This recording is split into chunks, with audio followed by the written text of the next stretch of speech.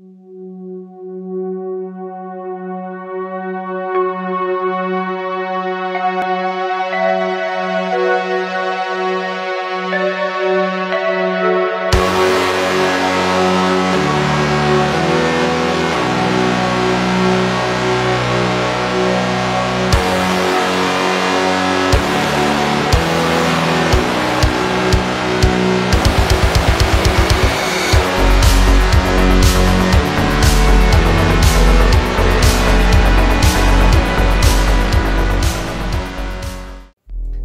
Saludos a todos, criaturillas de la noche, y bienvenidos a un nuevo videoprograma. En esta ocasión quería hablaros de una nueva exposición que está recorriendo toda la Comunidad de Madrid. Se trata de Comunidad de Madrid Fantastic.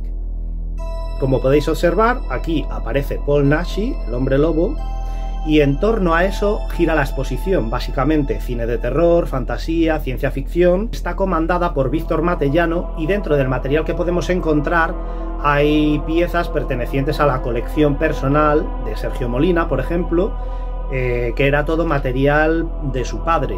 Hay cosas muy interesantes. Yo las había visto anteriormente en otras exposiciones, pero recomiendo encarecidamente acercarse a uno de los puntos donde se va a realizar esta exposición, que aunque es pequeñita, sí que, como digo, tiene piezas bastante interesantes que pueden gustar o sobre todo serán apreciadas por aquellos fanáticos del fantaterror.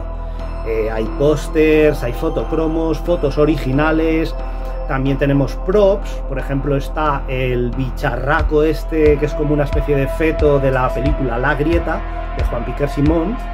Y mm, también tenemos una nave de Supersonic Man, tenemos la capa que utilizó Christopher Lee en la película Drácula de Jess Franco.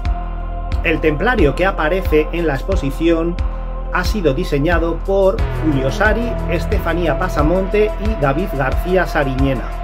Creo que estas tres personas no necesitan ningún tipo de presentación y son de sobra conocidos en el mundillo este de los fanzines, las publicaciones, el fantaterror y todo. Este templario en concreto ha sido utilizado para la película de Víctor Matellano, Mi adorado Monster, con Arturo Bobadilla. Otro personaje que no necesita ningún tipo de presentación, pero recomiendo que echéis un ojo al material de Arturo, porque la verdad es que digamos que es muy underground y el tío se lo ha currado muchísimo para llegar a, esto y tiene una historia detrás. Es muy interesante, emotiva y hay que verlo.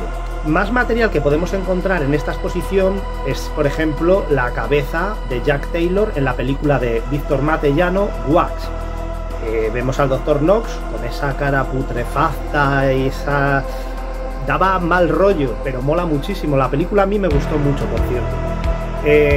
esta máscara fue diseñada por Colin Arthur, que a lo largo de la exposición veremos más material suyo, porque Colin Arthur es otro imprescindible que no puede faltar. Por otro lado, en el folleto también podemos encontrar localizaciones de películas pertenecientes al fantaterror y bueno, fuera también del fantaterror porque digamos que la idea de la exposición es eh, coger a Madrid como escenario del cine fantástico. Así que esto va más allá del fantaterror, no solo hay películas españolas, hay también, tenemos por ejemplo Conan, tenemos algunas de Sinbad, de Harryhausen. Y en definitiva, pues es eso un poco, eh, mostrar cómo Madrid acogió en aquellos años a tantas producciones y tantas películas de esas que tanto nos molan. Y en el folleto, como os he dicho, podéis ver un montón de títulos. Y lo bueno de esto es que sabiendo las localizaciones, podemos ir a esos puntos, en plan flipaos como hago yo de llegar, plantarme a un sitio donde se ha rodado alguna película y yo soy de los que se plantan con el póster ahí delante y no sé, me quedo tan ancho. Eh, hay títulos, pues desde películas de Paul Nashi como La noche de Walpurgis, hasta otros títulos menos conocidos, no por ello peores, aunque algunos me van a matar porque sé que hay mucho detractor de la película Necrófagus. A mí, por ejemplo, Necrófagus de Miguel Madrid es una película que me gusta muchísimo. Yo entiendo que no es una buena película, si lo miramos objetivamente, no es una película buena. Sin embargo, en Siches ganó, si mal no recuerdo, en el año 1970 y pico. Y se formó un revuelo porque la gente no estaba de acuerdo y no sé, era algo así como que ganó un poco de coña, por lo que tengo entendido.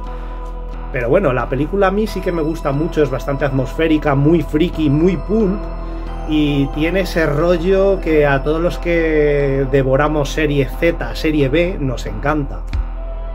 Pues aquí aparece Necrófagus, eh, además aparecen también títulos como Más allá del terror, Ceremonia sangrienta, No profanar el sueño de los muertos, eh, Inquisición, El ataque de los muertos sin ojos, un montón de títulos que merece la pena visitar las localizaciones donde se filmaron.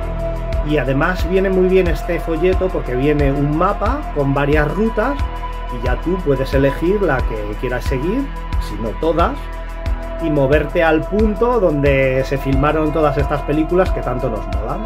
La exposición ha comenzado este fin de semana en un pequeño pueblo de la sierra llamado Moral Zarzal, pero va a estar rotando por toda la comunidad de Madrid, así que os dejo abajo en la descripción del vídeo todos los puntos por los que va a pasar para que podáis acercaros al que más cerca os pille.